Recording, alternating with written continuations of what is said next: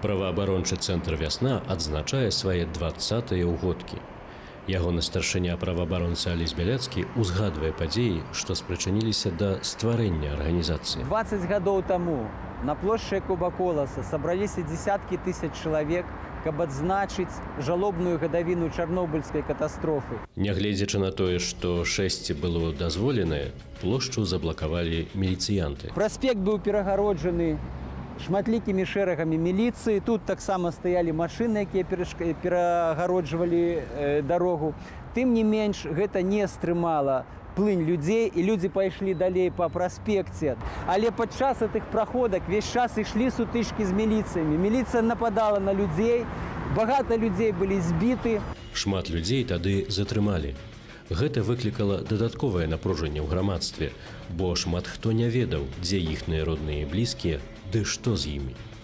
Таму і была створана вось такая група хуткага рэагавання э, валанцёраў фактычна, у якую ўваходзіў таксама я і адчоліваю якую я, якая занялася зборам звестак пра гэтых людзей і хуткай дапамогай сем'ям гэтых людзей і самім людзям. Год тых падзеяў і акрэслілі ў назве арганізацыі вясна 96. Праз тры гады яна стала грамадскім аб'яднаннем праваабарончы цэнтр вясна.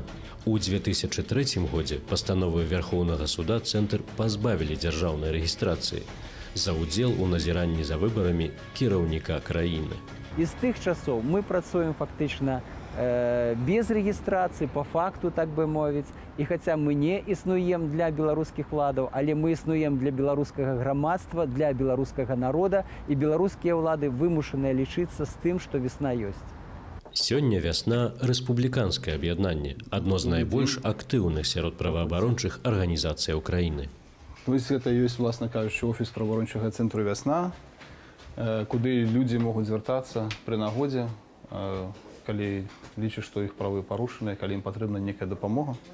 Яшчэ адзін з кірункаў дзейнасці цэнтру адукацыя моладзі.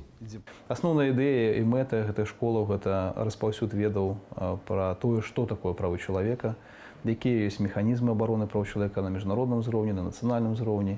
Нягледзячы на тое, што арганізацыя фактычна працуе нелегальна, яе дзейнасць вельмі высока ацэньваюць па-за межамі краіны. Мы фармулюем пераабарончы парадак дня на э, самым высокім міжнародным узроўні, які толькі можа быць это аан.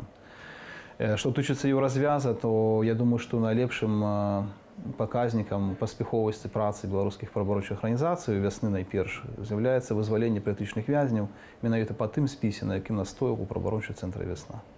Сярод іх і былы палітвязень Мікола Статкевіч. Палітык адчуваў падтрымку вясны з пачатку яе існавання. І было вельмі прыемна, што калі ты вот, скажем, цябе пасадзілі, чтобы блізка не даведаліся, дзе ж ты і ты не адзін акаўся не толькі я і астатнія там адразу уже ідзе першая перадача там зубная щетка там паста там все самае неабходнае Спадар Мікола кажа і пра тое, што праваабарончы цэнтр заўсёды падтрымліваў і ягоную сям'ю.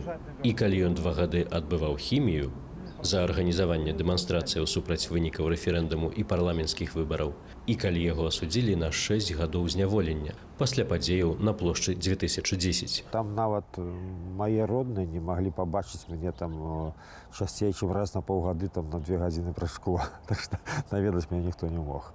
Але былі кампаніі салідарнасці былі паштоўкі. Мікола Статкевіч адзін з тысячаў каму за гэтыя два дзесяцігоддзі дапамагаў праваабарончы цэнтр вясна І пакуль беларуская дзяржава не можа гарантаваць паўсюднага выканання правоў сваіх грамадзянаў, дзейнасць вясны застанецца патрэбнаю.